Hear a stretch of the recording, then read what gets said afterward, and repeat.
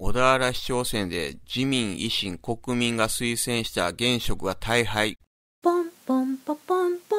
ぷくにゃん。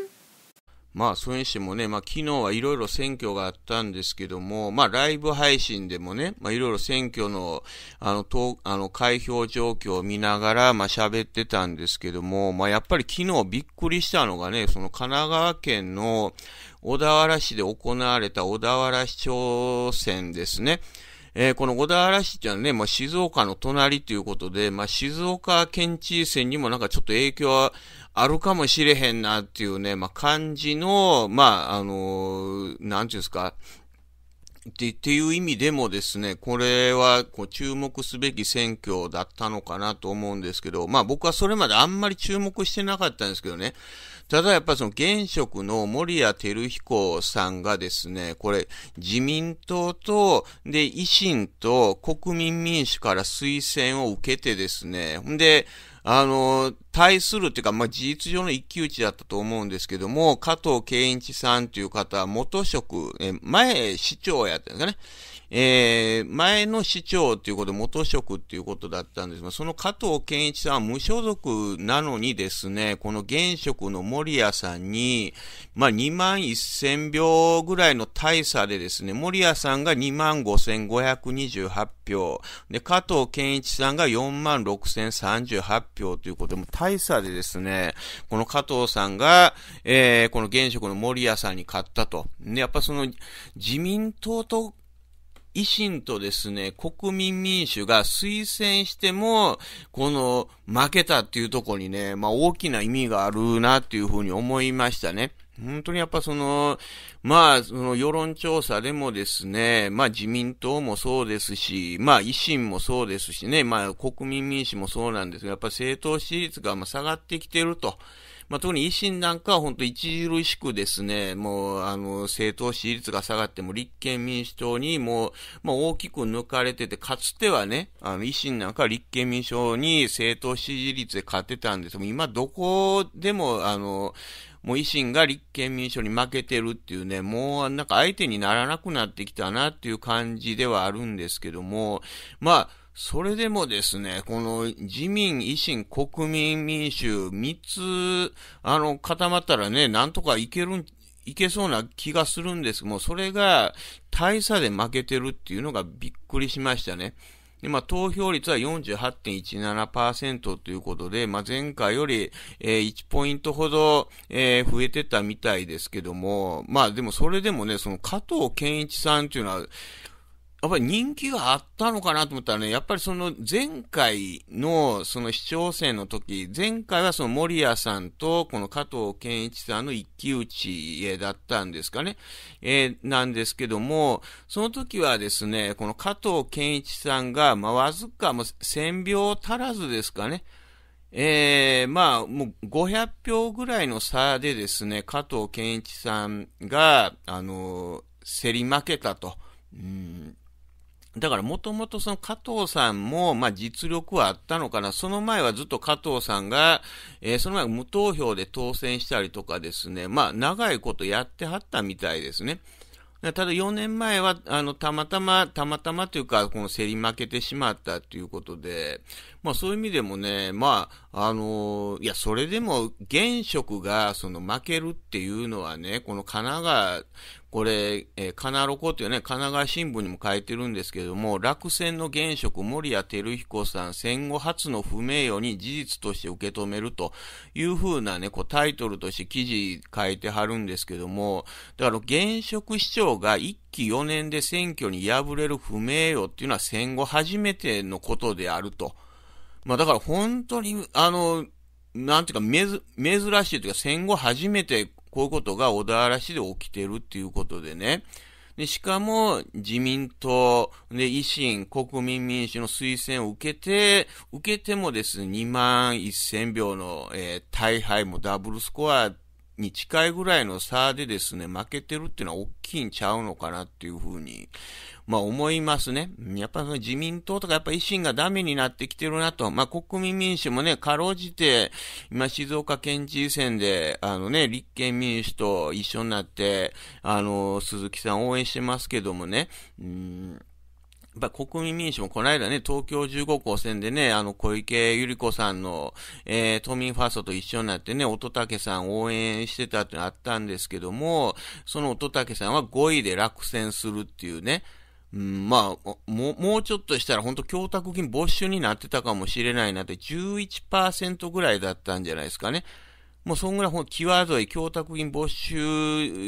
に際どいぐらいのなんか負け方をしてですね、まあだから本当国民民主もね、ほんまなんか大丈夫かなっていう感じが、まあしてきますけども、まあ静岡県知事選ではね、立憲民主と国民主は一緒になって鈴木さんを応援してるっていうことで、まあこれがこの、今回この神奈川県の小田原市ではですね、あの、もう本当に、まあ、もう惨敗と大敗したと。言っていいと思うんですけども、まあ、静岡県知事はどうなるかね。で、加藤健一さんがなんで勝ったのかというと、まあ、もともと、その、その勝てる、えー、まあ、実力はあったと言っていいと思いますし、で、やっぱり今回ね、その、例えば、公明党とか立憲民主、あるいは共産っていうのはですね、あの、まあ、どこ、推薦とかどこもしてないんでね、まあ、特に公明党と立憲民主がどこも推薦してないっていうのがですね、まあ、やっぱ、ここがね、あの、なんていうのキー、キーポイントかなと思うんです。やっぱ公明党も、これはちょっと、あの、負けそうなんちゃうかと思ったね、のもあるかもしれませんし、ほんで今回僕は不確定な情報なんですけども、ツイッターとか見てると、えー、立憲民主党の一部の、えー、市議ですかね、それと共産党がですね、えー、加藤健一さんを支援してたと、まあいうのも見かけましたし、ほんで神奈川新聞ね、カナロコにもですね、やっぱりその、森谷さんが進めようとしてた大型開発とか、まあそういうとこに反対というのは、それで草の根のなんかこう、支援が広がったというふうに書いてたんで、まあそういう意味からいくと立憲の一部だったり共産党、えー、支持層の支援っていうのがあったからね、えー、こんだけの大差に、あの、で勝てたのかなと。で、まあ公明党だってね、まあじ、えー、どういうのかわかりません。自主投票なんかなんかわかりませんけども、やっぱり、まあ、あの、公明支持層もひょっとしたら加藤さんに流れた可能性は十分考えられるかなって思いましたけどもね。まあ本当にこんだけね、あの、負けるっていうのはすごいなと、大差でね。えー、無所属やのに、この、えー、自民、維新、国民民主、えー、推薦ね、え、でね、え負けるっていう、うん加藤さん、この神奈川新聞によると組織票に頼らない市民派による草の根運動で支持を浸透させたと。えー、政策官ポストの創設や相次ぐ大規模開発計画など、森屋市政への反対票も取り込んだっていうふうに、この神奈川新聞に書いてるんですけども、まあそういうとこがね、あと、なんていうんですか、あと小中学校の給食の段階的無償化、紙おむつ無料化など子育て世帯の負担軽減も訴えたと。えー、いうふうに書いてると。だからまあこういうとこはやっぱり立憲支持層とか共産支持層にはですね、受けたんちゃうのかなと。まあ、それだけじゃなくて、やっぱり市民としても受ける要素はあったんちゃうのかなっていうのは思いましたね。でもあとね、これ維新絡みっていうか、えー、で行くともう一つなんかその、えー、まあ、驚いたのがこ、こっちは奈良県なんですけども、奈良県って言ったらですね、維新の山下さんが知事になってるんですよね。山下誠さんとか知事になってるんですけども、まあ、その奈良の柏市っていうとこで、柏市長選っていうのは昨日あったんですけども、これ朝日が書いてあるんですけどもね、あの、えー、奈良の柏市長選で、えー、35歳の弁護士が初当選と維新知事が押す現職ら破るっていうことでね、まあ、ここもびっくりしたなっていうかね、やっぱ関西はまだまだ維新強いのかなと、奈良なんかでも維新がね、まあ、知事誕生させたぐらいですから、えー、維新が強いのかなと思ったら、えー、その維新の知事が押した、えー、現職が破れるっていうね、ここも現職が破れてるっていうね、現職が負けてるっていうとこが大きいなと。新人じゃなくて現職が負けて、ほんで無所属で新顔の、えー三橋さんというか、三橋さんというかね、ちょっと読み方わかりませんけども、えー、という方が、えー、当選したと。これ三つどもえの選挙戦だったみたいなんですけども、えー、9215票で、んで、あの、えー、立憲民主党、日本維新の会、国民民主党が推薦した現職らを抑えて、えー、初めての当選を果たしましたというふうに NHK に書いてあるんですが、まあ、ここはね、えー、三橋さん、えーと思うんですけど、9215票で、ほんで、この維新の知事らが落ちた福岡さんは8187票と。まあこれもまあ1000秒ぐらいの差ですね。で、もう一人あの吉田さんっていう方が7500取ってるんで、まあ票が割れて三橋さんっていう方が良、えー、かったんじゃない、かったのかなっていうね。まあここは、あの、まあギリギリであれですね。まあただでも維新の知事が押した、えー、福岡さんという現職の方が負けたっていうのが大きいなと。やっぱまあ維新の力がだんだん弱まってきてるっていうのが、まあこの間の東京15区補選とかね、長崎3区でも、まあ維新の立てた候補が、まあゼロ打ちでね、まあ惨敗したと。東京15区でも3位やったんじゃないですかね。須藤元気さんより後やったんじゃないですかね。えー、で、あの、負けたというのはありましたけども、やっぱ維新の力っていうのも落ちてきて、まあ自民党の力もですね、まあ落ちてきてるっていうのが、えー、言えるかな。まあ国民民主もまあそういうことは言えるのかなと、うんまあ、奈良のね、この柏市長選は立憲民主党、えー、も、あの、現職に乗っかってたみたいですけども、まあ、そういう意味ではね、やっぱりよく、あのー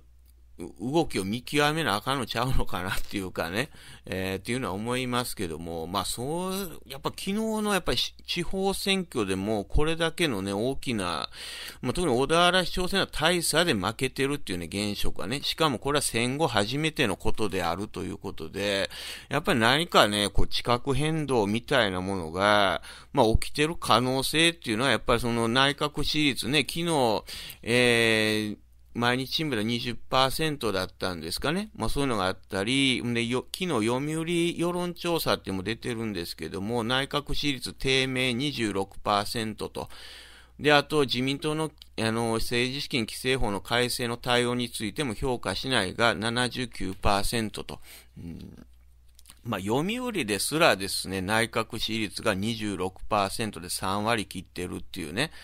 うん、だから本当やっぱもうあかんというか、もう政治不信っていうか、やっぱりもう